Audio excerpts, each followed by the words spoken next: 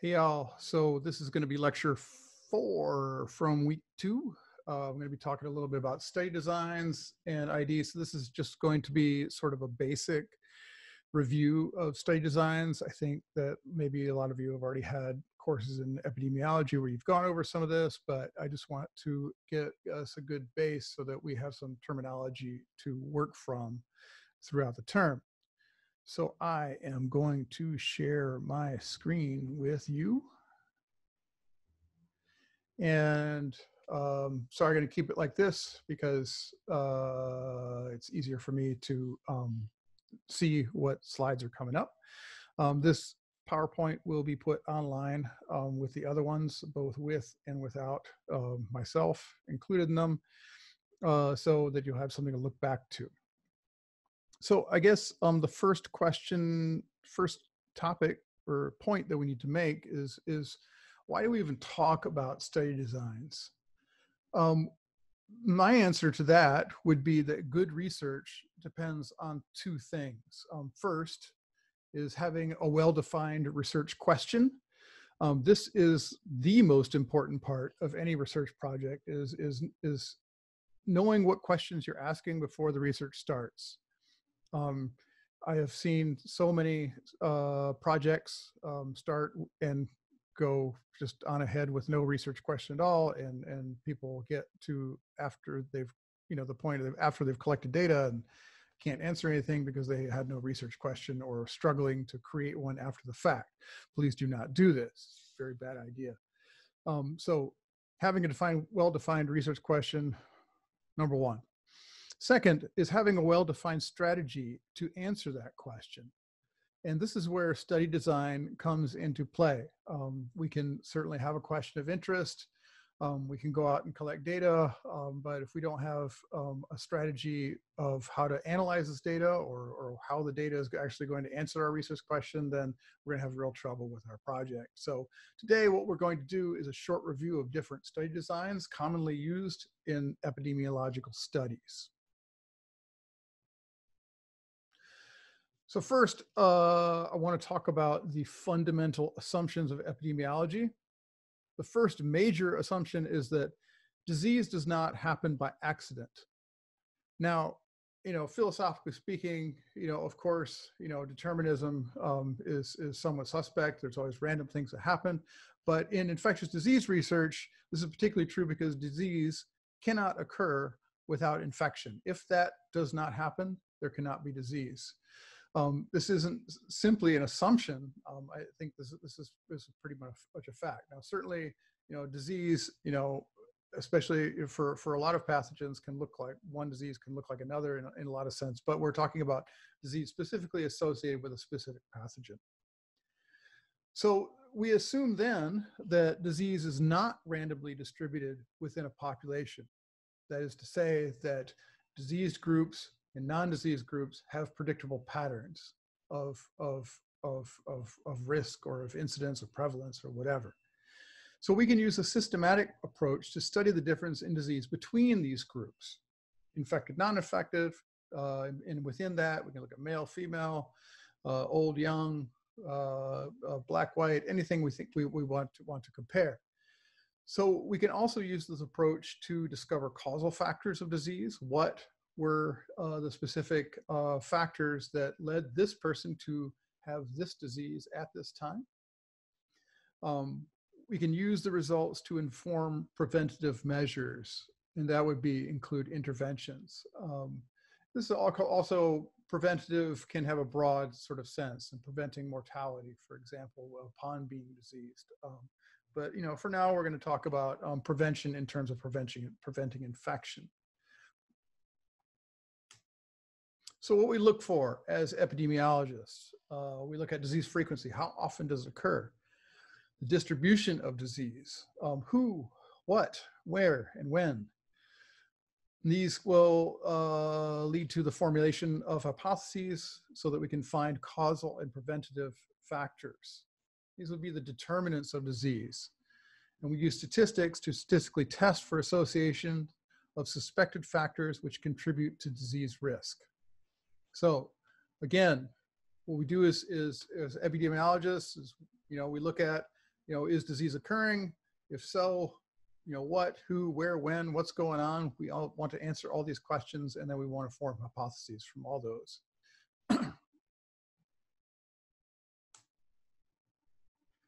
so in epidemiology, I think as, as a lot of you probably know, there are two types of studies. Um, the first is descriptive studies, uh, and that basically allows us to generate a picture of what's out there. And these are sort of common in, in public health or government reports, you know, case reports, case studies, all these different things. And these lead to a call to action. Um, we see something occurring, um, it leads us to act, to do something about it. And part of doing something about it um, is figuring out um, what's what's causing this. What's the story? What's the who, what's, when's, and where's. Um, and that's where analytic studies come into play.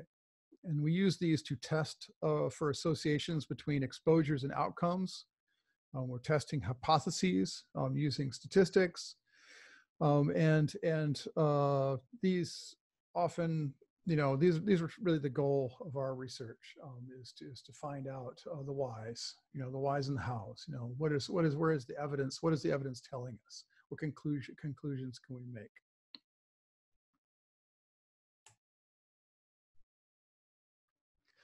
So descriptive studies are intended to inform us as researchers. Um, they're often the first step in epidemiological research. Um, and these types can include things like cross-sectional surveys, uh, reports generated from surveillance data, like, like your public, local public health department collects, the CDC, whoever um, and case studies. Um, and often, they often case studies come out of, of hospitals and clinics. Um, patients come in with something unusual. Um, case reports are written about this particular case. Um, and in, in epidemiology, we, we sometimes take those case studies and we start seeing more and more of them. And this leads us to, to ask, you know, should we go and start conducting research to find out what are the commonalities between all these cases? Analytic studies. Um, these are the type of studies are they're meant to test for associations between exposures and outcomes um, using data and statistics. And we're using specific strategies uh, to answer specific questions of interest. And we use these studies to create targeted intervention strategies to mitigate or prevent disease. Um, today we'll be mostly talking about analytic studies. We're actually going to be talking about both.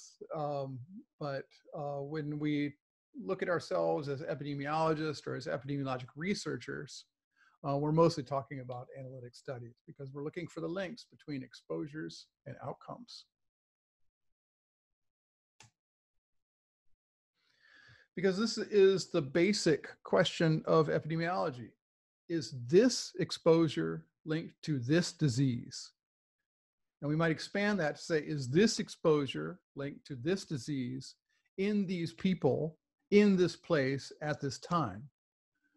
Um, this is, you know, by going back to John Snow, um, he noticed uh, that there were diseased people, people, there were cholera cases out there.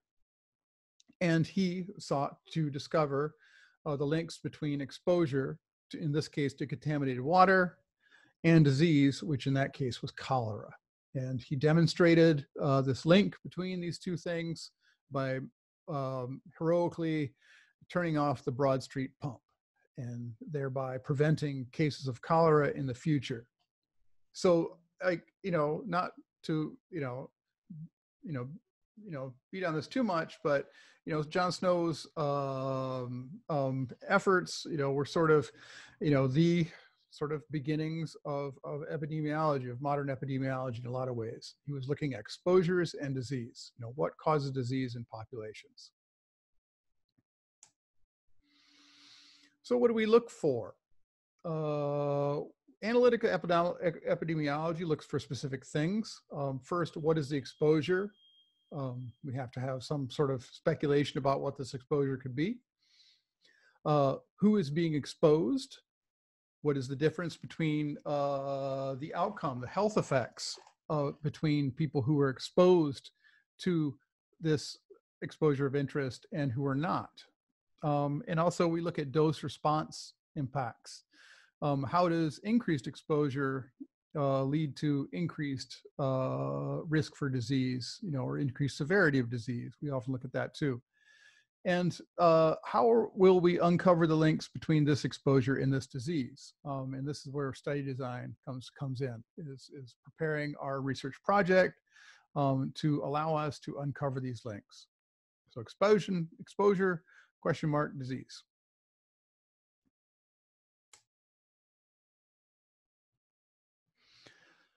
So we as epidemiologists are somewhat unique um, in the sciences um, because we have a prime directive, um, which is to say that that we are tasked with protecting the public health. Um, we are we are tasked. We have a mission to prevent and control disease and ensure that all individuals live the healthiest lives they can.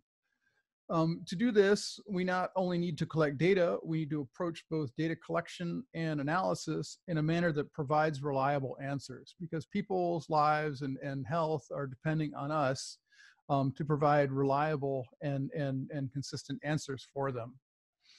Um, and to do this, uh, we again identify a well-defined research question, have a point, right? And formally test our hypotheses using reliable methods. And this is where study design comes in. It's essential to good epidemiological research.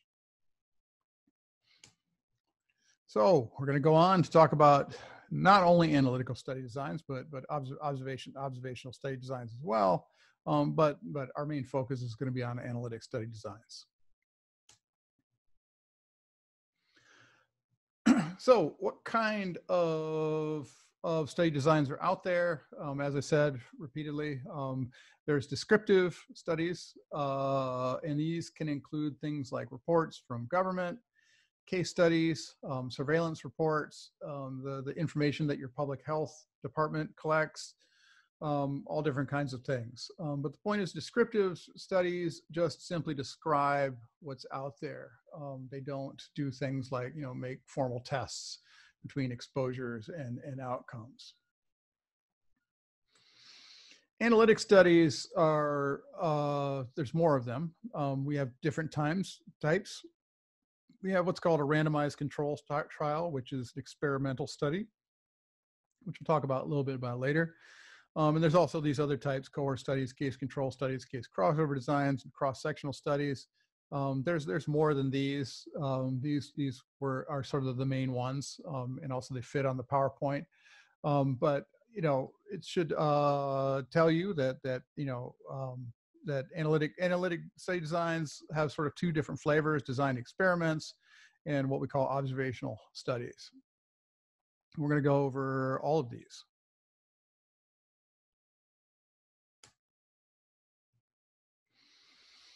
So again, many of you have had epidemiology courses in, in the past, um, and we talk about two different types of study timeframes. Um, the first is prospective studies, where we look from the present into the future. You can follow groups of individuals over time. Uh, and then we have retrospective studies, which look from the past to the present and studies of study, obviously studies events that have already occurred. Um, and then, uh, you know, perspective studies, I think I think both of these really have to include cross-sectional studies. I think that needs to be a third category here. But in general, in in most epidemiologic tech, epidemiology texts, you'll see these two broken out in these two different categories.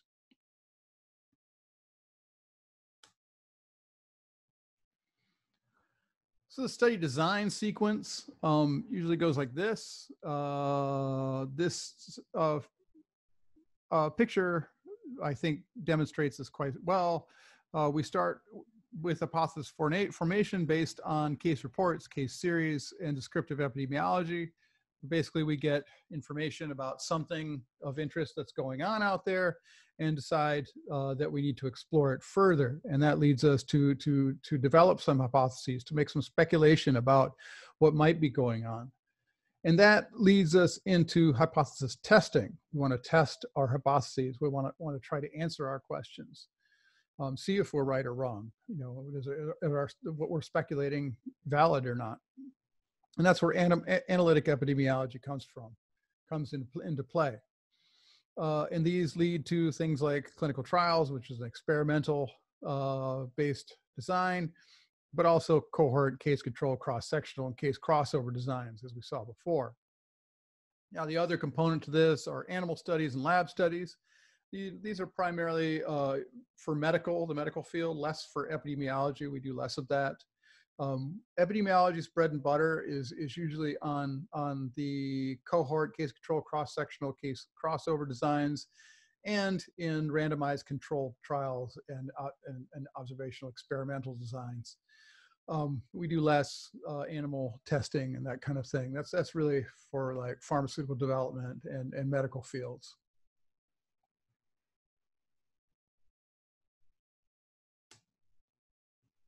So again, here's another illustration of how this works. Descriptive studies um, lead to, uh, for example, case control studies, cohort studies, and into designed experiments. We develop hypotheses. Case control investigates uh, the links between exposures and outcomes. Cohort studies define the outcomes meaning with exposures, um, and designed experiments test these links experimentally. Um, this is sort of a general guide. Um, obviously, you know, when when we're out in in in the world working, uh, you know, things sort of, you know, the order might might be somewhat somewhat different, and sometimes designed experiments or cohort cohort studies um, can lead to other questions, which lead to, lead us back to doing things like case control studies. So um, this isn't, you know, quite the same as clinical trials, which has like phase one, phase two, phase three, phase four, phase four trials, where an order has to be followed uh, to the letter. Um, this is just sort of a general guide of how this works, how the process of epidemiology works.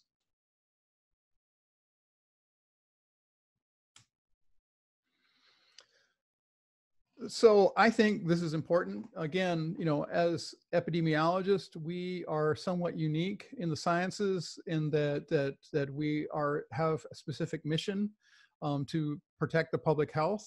Um, what we do uh, is intended to prevent or mitigate disease and, and allow people to live the healthiest lives they possibly can. Um, epidemiology specifically tries to build on knowledge to protect the public health. So we follow systematic steps to explore questions of public health importance. And this is part of, of our, our, our, our um, requirement to have scientific integrity. Um, we have to have our results backed up by science and evidence and, and, and proper methods. Um, I can't stress how important this is. Uh, anecdotal evidence, for example, doesn't doesn't you know isn't necessarily acceptable to what we do in epidemiology. We are you know scientists. We go out and collect data. We use methods to analyze that data and draw conclusions and make statements about conclusions, you know, based on on on what we think is what we think is true based on the evidence. Um, so we always have to have, strive to have be um, the best scientist we can. We seek to produce reliable answers while minimizing negative impacts to individuals. And this is part of ethics and accountability. Um, we're going to get into this when we start talking about the CITI certification, human, human subjects training certification, um, why this is important. Uh, epidemiology and public health have a sort of checkered past uh, where we've done things that, that, that, that did have negative impacts on individuals um, and were unethical and have brought us to the present day, you know, where, where ethics and accountability is, is, is priority one. So scientific integrity, ethics and accountability, um, really priority one. And the results uh, become the basis for interventions intended to protect the public health. And this is part of beneficence and making sure that what we do um, has beneficial impacts on, on humanity. So you know, public health is not just about science. It's about ethics and morals and integrity and beneficence and all these things. And when we get to our human subjects training, training, um, we're really going to hammer this, hammer this, hammer at this for a while.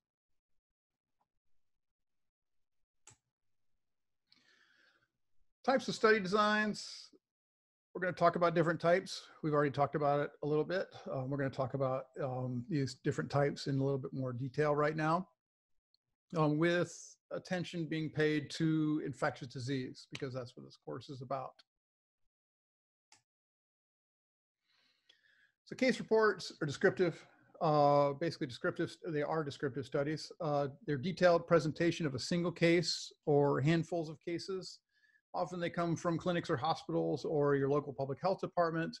Um, something unusual uh, comes into a clinic or a hospital or is observed by public health authorities um, and uh, is unusual enough where it needs to be written up and presented in, in some kind of type of official format. Um, these are good for describing previously undescribed diseases. So for example, like when COVID-19 came out, um, people immediately, Chinese doctors immediately started reporting that uh, there were unusual cases coming into the hospital, and this is worthy of some attention. Uh, they can look at unexpected links between diseases. Uh, so disease A and disease B might be happening at the same time, and there might be some sort of unique impacts of this. Unexpected new therapeutic effects of, of, of, of, of, of different types of new or accepted medicines, um, and also looking at adverse events and and also like they can lead us to ask questions about unexpected exposures and diseases or unexpected preventative measures and diseases you know what's protective. So for example uh, when the flint water crisis happened here in michigan where it was found that there was lead in the water um, reports were coming out um, that that kids were experiencing lead poisoning.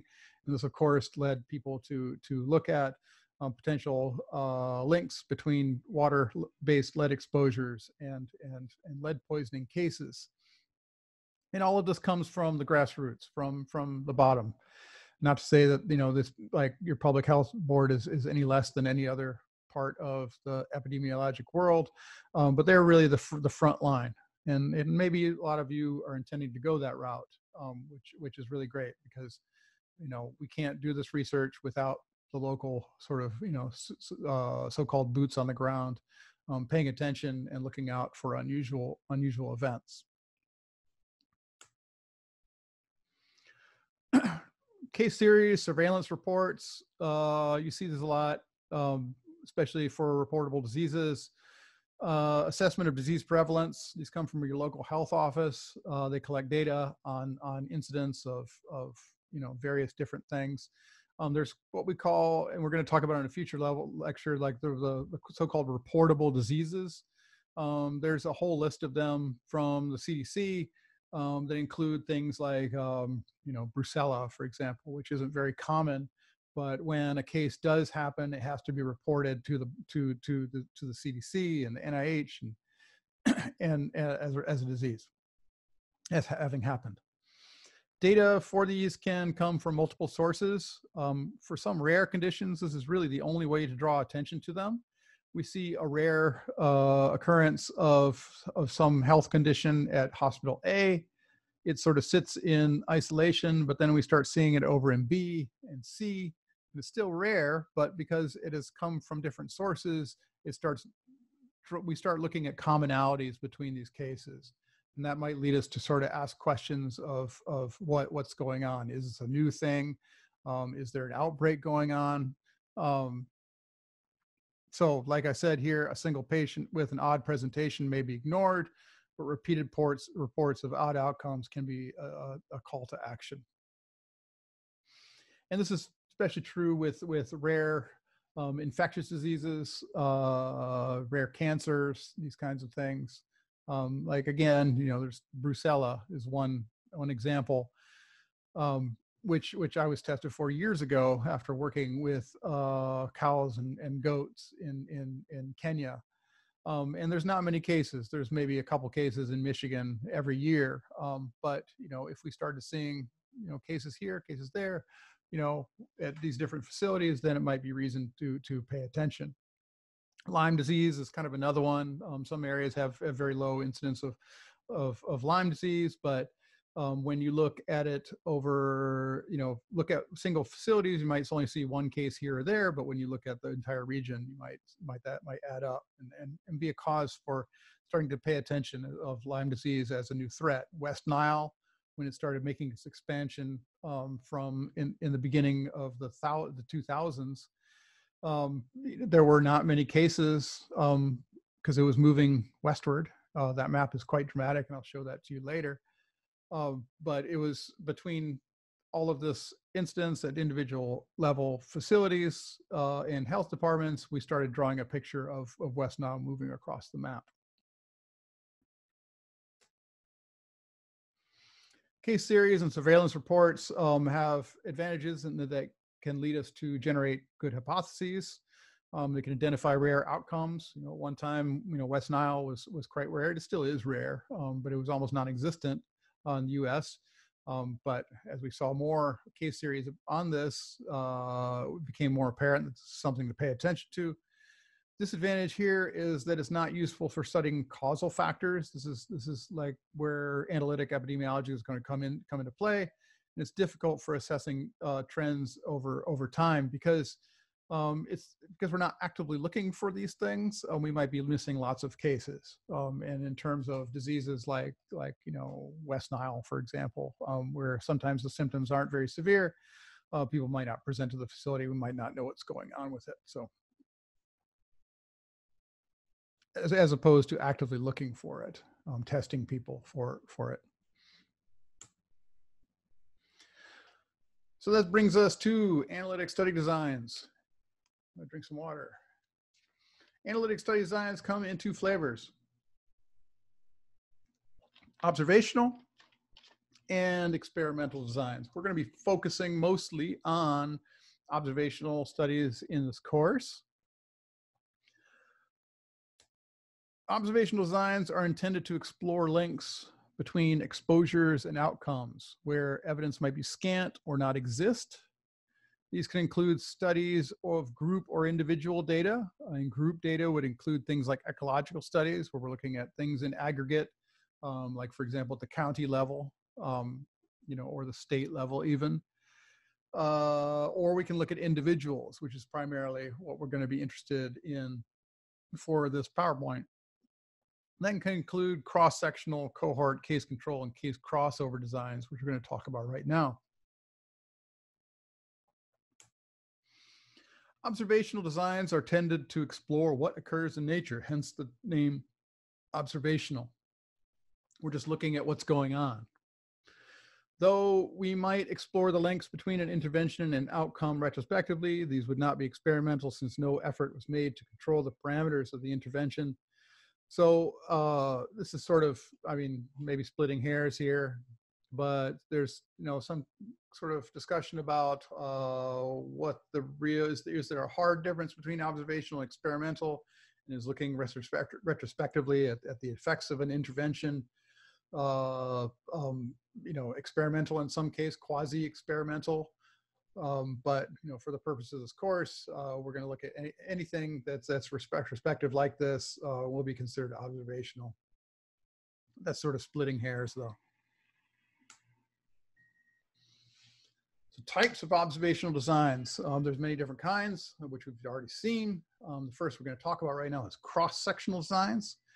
An observational design that tests for associations between exposures and disease status at a single point in time. Now, that, that quote single point in time designation um, is as has somewhat of a liberal de definition. It can be within a minute, a day, a month, or even a year or more. Um, uh, it depends. I've you know like it's sort of you know if you can get your study done in a single day well great but obviously that's not always always the case uh, especially with sur- with survey survey projects um, where people have to physically go from house to house or make telephone calls or whatever it can take time to do your cross sectional study. Uh, but the point is is is that there's no follow up of individuals. Individuals are only measured once. That is that's really the the definition here of cross sectional um, there's no attempt to account for a number of cases over time. Um, we're not we're interested in any sort of temporal patterns. Um, we're just looking at people measured at one one point in time. We have one data point on each person.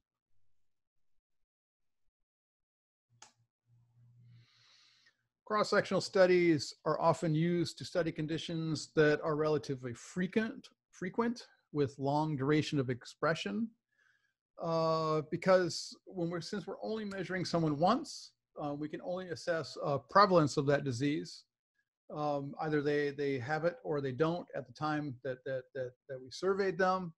Uh, we're not interested in incidence. When did they become infected? Certainly, we can ask them, you know, when they might have gotten infected or some information uh, to that to that effect. But with cross-sectional studies, we are really just looking at presence or absence of disease and in, in that person at that time. Um, we're mentioning chronic conditions here, but we also have to mention, you know, there's things like HIV, which is in in essence uh, a chronic health condition in, now, um, where people are infected and they're infected over, infected for the rest of their lives. Uh, and and now, of course, we have antiretrovirals, which which which make make make it make it like a chronic condition in many in many ways. Um, so we can measure that um, just like we would any sort of other chronic diseases. So uh, I just don't want you to get the impression that cross-sectional studies are only for chronic disease because that's not true. Uh, we often use chronic cross-sectional studies for uh, assessments of, of infections where infection is permanent, uh, number of infections, you know, at a particular time point um, within a certain slice, if we can do it rapidly enough, or look at seroprevalence, um, which is uh, an assessment of past infection of, of, of, of a pathogen in, in humans. And we'll talk about that in a minute. Uh, these aren't good for studying rare or highly fatal diseases um, simply because you're only measuring people at one particular time. Um, so if it's a rare outcome, it's going to be difficult to catch uh, at that time. Um, if they die before you get to their house to, to study them or call them on the phone, then, then obviously they can't be in your study either. So this is kind of a picture from Elsevier uh, of how cross-sectional studies work. You have a population, um, you have some sort of target population, you take a sample of that population, and then you look at exposed or unexposed um, and look at the different risks between those groups. And exposed or unexposed can just be your exposure of, of interest. So, you know, did people, um, you know, for example, have unprotected sex versus not ha had unprotected sex, and then you look at uh, outcomes versus not outcomes. Just an example, if you were doing some sort of, of, of study on, on STIs or HIV. I think this is a good picture to look at to really get your head around um, what a cross-sectional study is. Again, we're only measuring people once. So I have spelled incidence wrong, so I'm going to fix that. There we go. Incidence. Dense, yeah. uh, cross-sectional studies for ID cross-sectional studies are often used to assess seroprevalence or past incidence of disease. So seroprevalence is basically um, the presence, presence of evidence uh, that, that, that that person has been infected in the past. And so we often do this with uh, uh, malaria surveys, um, looking, looking at uh, presence of antibodies or antigens uh, to malaria, uh, cross-sectionally um, to get us uh, an, an, idea of, of, of, how many people are infected in, in, a particular community or have been infected in a particular community. HIV, uh, we can do HIV tests, for example, um, uh, and, and, check for infection within, within a population uh, by, by sampling that population and then testing each individual, in, individual for HIV again, you know, back when I was in Kenya, taking blood from from goats and cattle, we there was a sero survey of of of, of Q fever um, in in animals, um, looking for present evidence of, of, of past incidence of disease. Uh, these are not useful for assessing incidence of disease um, because we're not looking at time, only measuring individuals once. Um, poor for assessing temporal patterns of exposure uh, and not good for again finding out when a disease occurred um, because uh, you would have to if you sample cross sectionally you could you could obviously ask people when they think we're infected but but obviously people often often don't know or can't know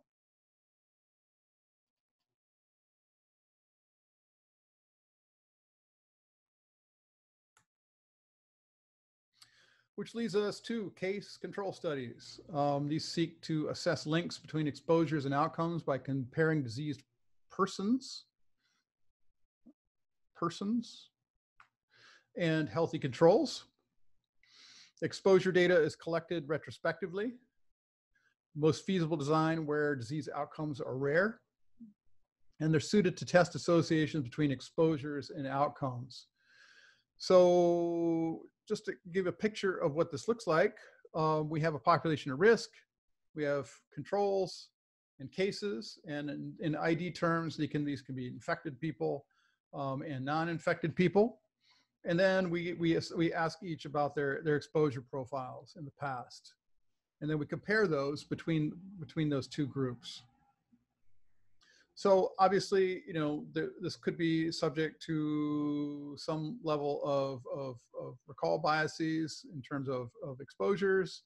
Um, in some cases, um, in other cases, it might be it might be more apparent. You know, did you you know, if we were looking at some sort of environmental exposure, you know, were you in this place at this time when this this environmental pollutant was was being um, um, uh, introduced in the environment?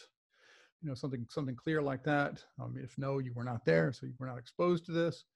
Uh, but it can be a lot of things. Um, it can be simply asking you, asking people, you know, if you know they they wash their hands daily or not that kind of thing, which people are are not very good at, at recalling some in some some cases. But we'll talk more about that later. Um, but again, the the part of the point is in case control studies, we're looking at the present uh, from the past, right? We're looking at their exposure profiles in the past and looking at their infection status in the present.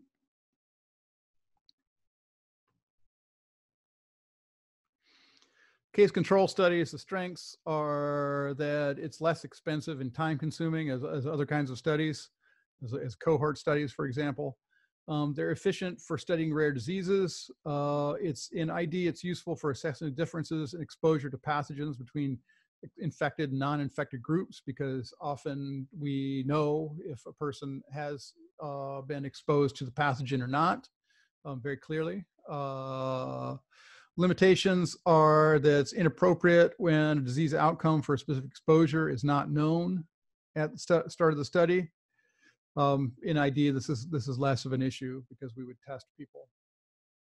Uh, exposure measurements are taken after uh, disease occurrence. Um, again, we're looking retrospectively, and sometimes that can that can lead to recall bias or you know difficulties in recall. And I can't remember you know what I ate uh, three days ago, let alone two weeks, let alone a month, for example. And also, they're select, subject to selection bias. Uh, um, in case of ID, uh, it's less so. Um, in others, it, it, can be a little bit in, in, in like assessing um, different sort of clinical procedures. It can be a little bit different, but um, we're still subject to selection bias in some cases. That is that you know, cases uh, are selected um, in such a way that that they don't or, or, controls are selected in some, some such a way that they don't represent the same population um, that the cases came out of.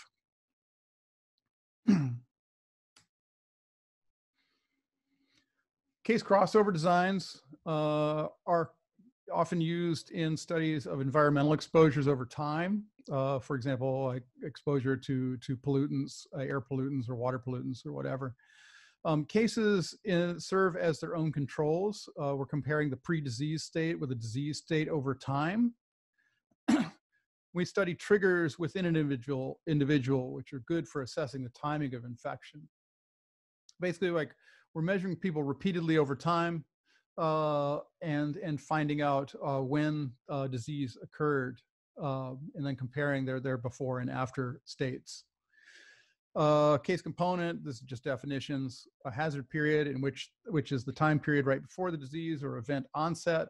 The control component is the control period, which is specified time interval other than the hazard period, so before and after.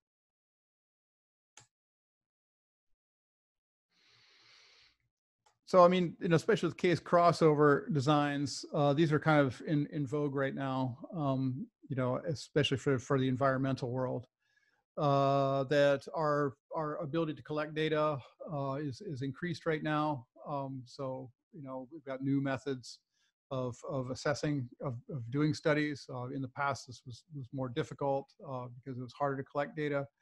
Um, but now now now we're much better at it. So I think you, if especially if you're into inter, interested in environmental epidemiology, you'll see case, case crossover designs more now than the past. Cohort studies, observational quote uh, design comparing individuals with known risk factor exposure with others without uh, the risk factor exposure. Um, so in cohort studies, we're looking at a group of people over time and watching people move um, from the the the the non-disease state to the disease state, and then then look comparing exposures between those two groups. Um, this is the best observational design. Um, it's very expensive to do and time consuming. Um, there's several cohort studies out there uh, which have been going on for, for, for decades, like the Framingham study is one example, um, where people were enrolled decades ago into the study and watched over time and, and, and surveyed uh, you know, yearly or so. Um, there's, there's many out there. Um, they're very expensive grants often uh, have time limitations on there, which makes doing cohort studies kind of difficult. And also, like our careers also often have limitations as well. Um, so, you know, yeah, can be expensive and time consuming. Uh, data is usually collected uh, prospectively, some retrospective in some cases, but usually pro prospectively. We're looking at, at, at, at groups of people over time. And here's a picture sort of demonstrating what this looks like. So initially we're looking at exposed and not exposed. So for example, you know, people drink, people in, in area A drinking water from area A and people in area B are drinking water from area B and it's known that, that the water in area A has a problem. And then we compare uh, incidence of, of disease between these two groups.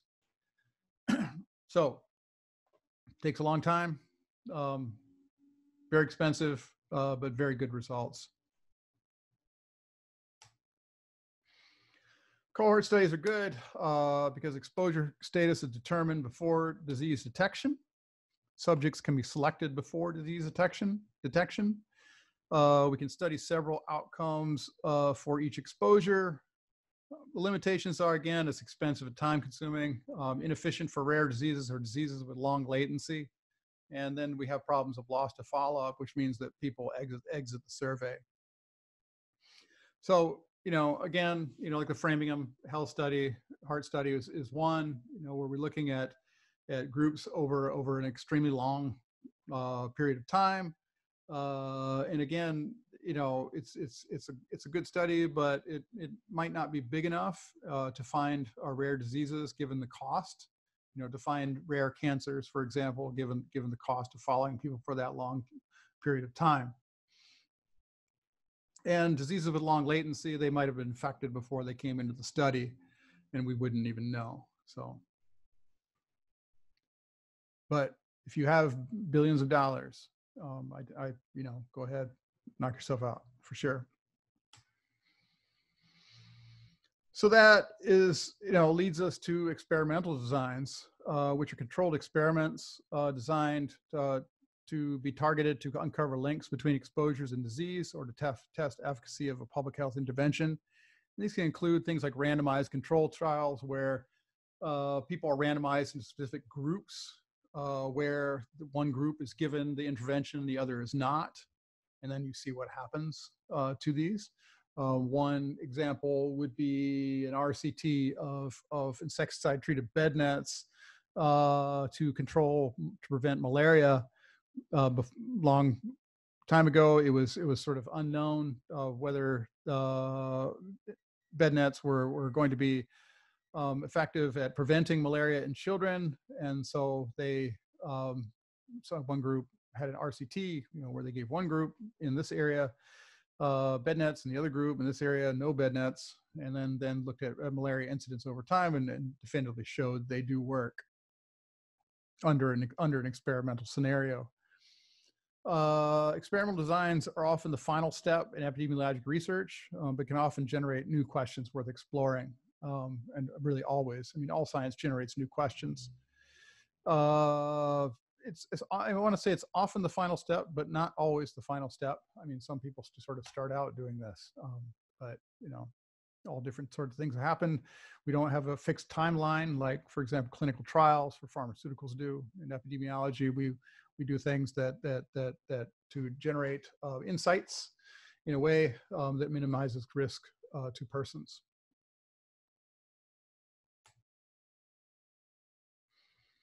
So RCTs are the gold standard of clinical research and, and, and epidemiology.